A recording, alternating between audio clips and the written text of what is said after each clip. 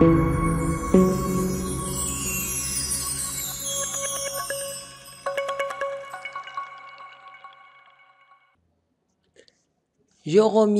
et Badaboum, c'est premier épisode pour aujourd'hui. Bonjour mes chers élèves, je suis vraiment ravi de vous rencontrer sur notre chaîne Je.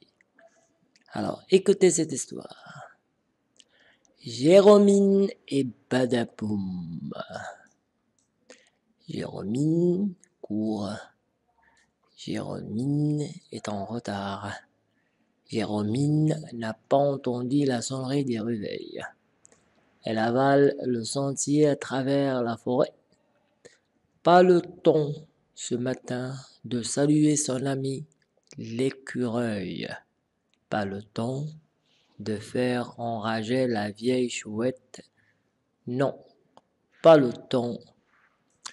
Je n'ai même pas encore traversé la clairière au dragon, pense Jérôme. Je suis drôlement en retard. Jérôme accélère encore. Drôle de long. Tout de même. La clairière au dragon. Je n'y ai jamais rencontré le moindre drap. Ah, ah, incroyable là devant elle, au beau milieu de la clairière, le plus gros, le plus vert, le plus gros, le plus vert, le plus beau de tous les dragons. Incroyable. Incroyable. Là, devant elle, au beau milieu, au beau milieu de la clairière. Voici Jérôme, c'est la petite fille courageuse. Voici donc la clairière. Alors voici le dragon. Incroyable là, devant elle, devant Jérôme. Au beau milieu de la clairière, au bon milieu de la clairière, le plus gros, le plus vert, le plus beau de tous les dragons. Jérôme est en retard, mais Jérôme est encore plus curieuse. À pas de loup, elle s'approche du monstre vert. Il dort paisiblement, comme un gros bébé. Elle s'avance, Jérôme s'avance, Jérôme, patatras, se prend le pied dans une racine de chêne, patatras, elle trébuche, patatras, se redresse, perd à nouveau l'équilibre et finalement atterrit, bras sur la tête du dragon. Oh, pardon, monsieur le dragon, balbutie Jérôme en s'enfouillant à toutes jambes. Eh, petite fille, ne t'en va pas. Petite fille, ne t'en va pas. Ne t'en va pas crie le dragon à moitié réveillé. Mais vous parlez? Vous parlez vraiment? Mais vous parlez? Lui demande Jérôme tout étonné et qui s'était arrêté à l'oreille du bois. Oui, mademoiselle,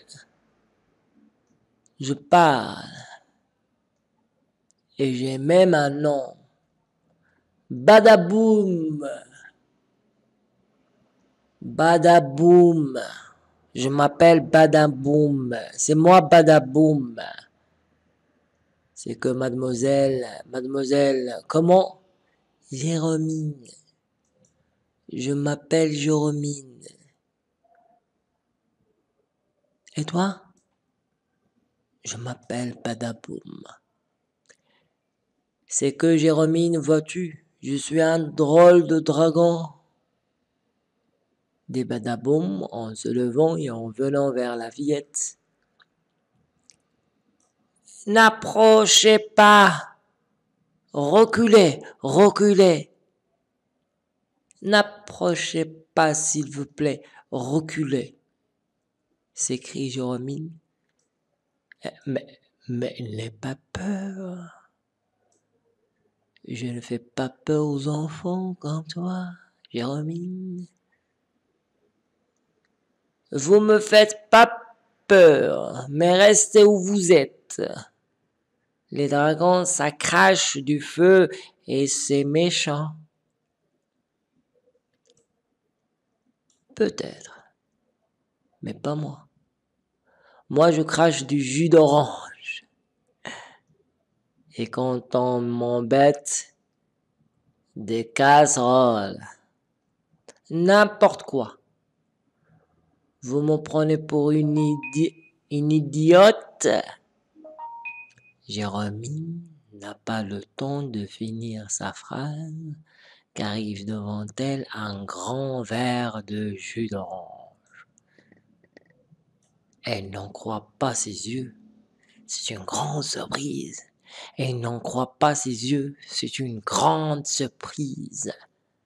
Mais alors, mais alors, mais alors, mais alors vous êtes un dragon sympa.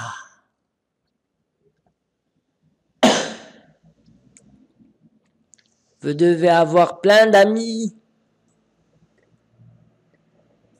Hélas, non. Hélas, non. Hélas, non. Ce père Badaboum. Les dragons me trouvent trop gentil et se moquent tous de moi. Quant aux hommes, ils me croient féroce et sont toujours à me chasser. À me chasser. Eh bien, moi, c'est Jérémie qui parle. Eh bien, moi, euh, je serai votre première amie. s'écrie Jérôme en lui sautant un coup. Chouette. Mais, alors, dis-moi tu, au lieu de vous. Vous croyez euh, Tu es sûr Attendez la suite, page 46. Voici la page 26. Vous pouvez lire Jérôme et Bedapoum, épisode 1. C'est au bois de l'arbre mot. L'arbre mot. Pour sa lecture suivie. Régis Delpoche, un dragon encombrant, collection lecture en tête, Sidrap, jeunesse. Attendez la suite, page 46, mes chers élèves.